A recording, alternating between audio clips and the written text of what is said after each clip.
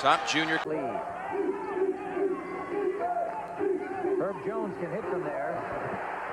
He's a very good three-point shooter. He hustles on the boards, and he will be a factor for Cincinnati's offense. Can penetrate as well as jumps. Did a good job going to the hole. Nice interception. Jones, three on one. Back for Jones. He's got it. For a weak side jump shot.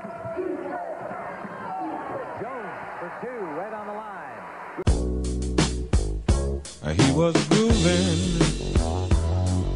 Jalen Rose.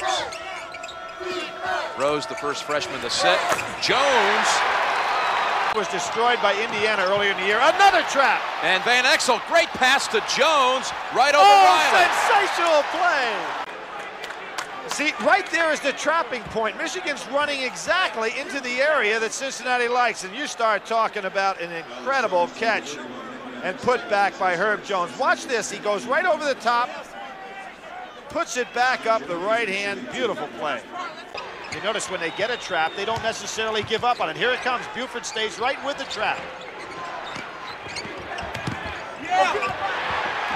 King could set up a break for the Bearcats. They have taken Michigan right out of the game with the trap. Oh, and Rose was just planted, and they went right by him. Taking away some of their confidence on transition.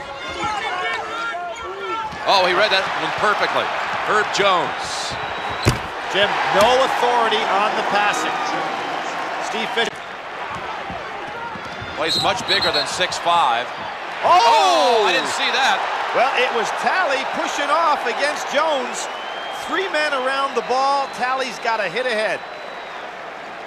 Second on tally. Thought it might be a reach in on Jones. See right here, he pushes Jones Oh, out yep. of the way. No question about it. Perfect replay to prove it. But not when it really counted. Jones, a much needed three. Oh, how clutch was that? Good. Uh, he was grooving.